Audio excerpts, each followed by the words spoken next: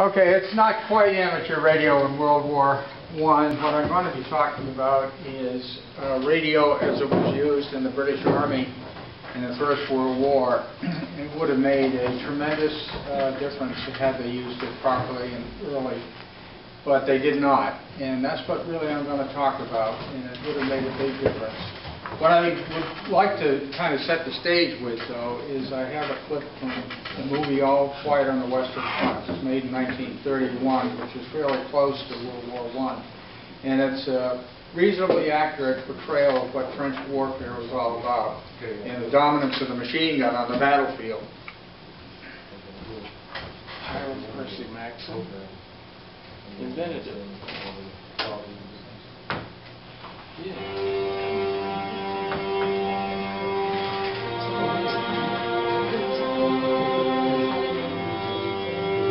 This is a uh, German trench line. You can tell from the spike helmets. And they're going to be attacked by uh, French troops.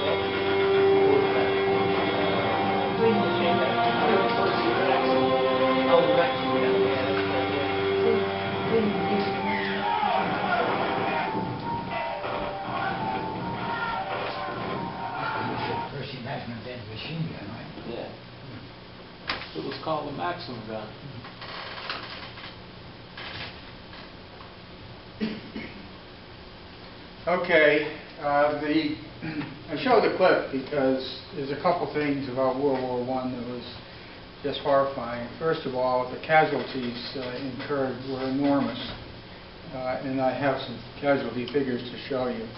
It was a brutal war, and the uh, the other key thing is that the power of defense in World War One was overwhelming. In other words, there were, at least when the war started and well into the war, there's no such thing as a tank.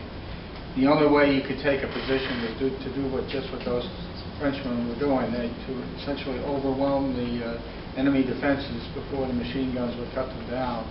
And it was a very, very difficult thing to do. And this attack, had I shown you, it was successful, but most of them weren't.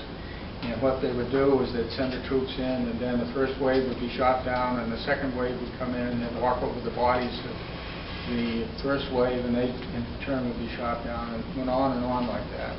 And casualty figures I'll show you was uh, very, uh, reflects that kind of warfare. Now, my colleague, Mike Bullock, who's an Englishman, and I wrote a book called Missed Signals on the Western Front. And uh, the whole point of the book is that wireless could and should have been used earlier to uh, basically cut down the number of casualties uh, during the war, but it would have made a tremendous difference in terms of the flexibility and and the like of uh, military operations. There's a uh, group of people in Britain and the United States called the Western Front Association, and and our particular interest is World War I. We have meetings all over this country and all over Great Britain. Of course, in Great Britain, the uh, as my English friend knows, is uh, you know, World War I is like the Civil War is here in terms of the amount of interest that it still holds for, for people, because both our country and, and, and Great Britain suffered a tremendous trauma in terms of the number of people who died. One of the problems in World War I was that command and control was a terrible problem, meaning that the generals really couldn't, uh, would lose control of the battle once it opened. They had no way of communicating with the troops. And there were very inadequate communications, and I'll show you some of the ways that they did try to communicate. One thing about it, though, was uh, very puzzling to me as a double E and as a person who has been an amateur radio, is why didn't they use wireless sooner? And uh, especially in the 1920s. 1920 was KDKA in Pittsburgh, the first commercial station in the United States. So radio in the United States really took off in 1920. Why wasn't it used in World War I? And in the course of the research, I found that the Royal Flying Corps had in fact built a handheld or light enough uh, transmitter, uh, continuous wave transmitter, and it was never used. It was never used on the ground, wasn't used in the air at all. In the process of doing this research, I uh, was able to locate a fellow in England, Mike Bullock, who had come to the same conclusion, but from a different direction. He's an expert on the British Army. So we said to each other about five years ago, should it be a good idea to write a book about this? Well, we did, and that's what I'm going to tell you about. Yeah. One question, didn't Major Armstrong use radios in, uh, didn't Major Armstrong use radios in World War? Edwin, Yeah, Ed- uh, No, Major. Howard Edward Ar- Armstrong was his name. He was the American, yeah. Yeah, he's an American. He patented the regenerative amplifier in 1912 and the oscillator in 1912, uh, wh- neither of which were used.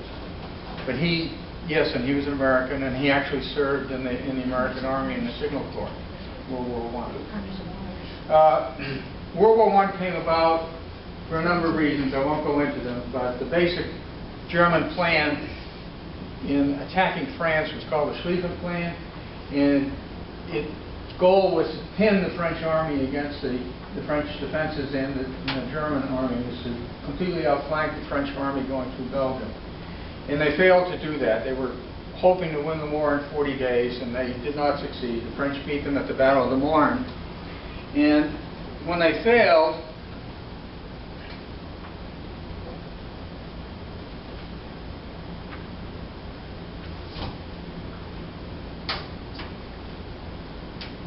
they failed, they retreated a little bit, French advanced a little bit, and eventually came to stabilize the front, which became the Western Front from 1915 to 1918. And the front lines really didn't change very much for three years, uh, primarily because of what the, the film showed you, the, the very great difficulty involved in breaking through defenses. Uh, This is about a 400-mile long line of parallel trenches. Both sides had generally three parallel trenches, first, second, third lines of defense, and manned it with a, with a huge number of men, close to 3 million men on each side. And This was the Western Front. As I say, it remained stable for, for uh, three years, and enormous casualties were suffered. Enormous casualties are shown here. Uh, Great Britain lost close to a million men, that's the third row. Russia lost a spectacular number, 1.7 million, and so did the, so did the Germans.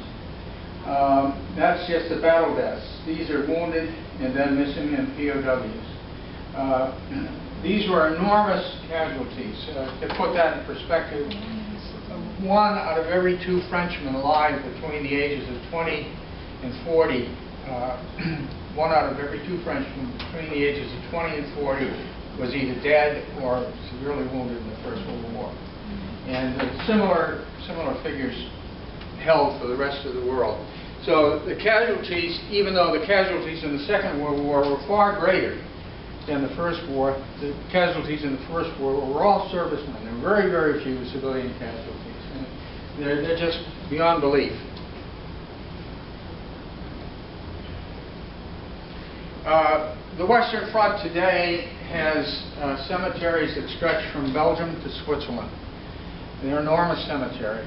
The, many of the people who died in the war, their bodies were never found. And uh, so there, even though there are tombstones in these cemeteries, those are only the people who, who, whose bodies were recovered. But many, many more were not. And what they would do is they'd write the names of the people whose bodies they couldn't find on a wall, like this one. So in back of that cemetery with the tombstones, here's a wall that shows all of the people whose bodies weren't recovered. And this one is particularly interesting because there's a fellow named John Kipling here, and he was the son of Rudyard Kipling, who was the great chronicler of Victorian England. And uh, Rudyard Kipling spent uh, a long time trying to find his son's body. He wrote a book about it, and there's been several television and, and, and uh, shows about that called My Boy Jack. It's a terribly tragic thing. And the war affected, in England, the war affected whether you were the son of a duke or a Welsh coal miner. The casualties were, were terrible.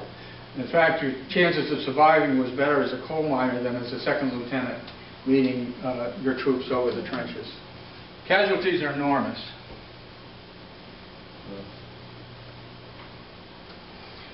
The main reason for this was poor communication. Once a battle started, there was no way of determining how well it was going and report back to the general and say it's going particularly poorly and we have a problem here. We need to call in some artillery to take out this particular machine gun nest. Uh, there's no way to do it. But even worse, when a wave of troops, like I showed in the, on the film, when the wave of troops would go forward and, and the defenses were too hard to crack, uh, they kept sending troops forward, even, even though the first wave had been shot down, the second wave had been shot down, the third wave had been shot, down, because there was no way to call them back. It was all programmed to take place. The artillery support was there, but it was usually in the form of what they call a curtain barrage, which is a, a curtain of exploding shells that were supposed to move in front of the infantry as they advanced. Uh, but if the infantry were held up, that curtain of shells kept moving without any way calling back saying, well, we- we better bring it back because the infantry hasn't, hasn't got, got there yet. So communications were, and the lack of it, were a crucial factor. What kind of communications did they have? They had dispatch riders, guys on motorcycles, and uh, there was an issue with that. Of course, the terrain had to be good enough to be able to move on it, and uh, there were no particularly good roads close to the, the front lines and the trenches. And not only that, when uh, when it was snowing uh, or there were other severe weather conditions, you couldn't get through. So that's not a really particularly good way of doing it. It was also extremely risky. Something like one out of every two of these guys were killed during the war. Another, another method they used was called a heliograph.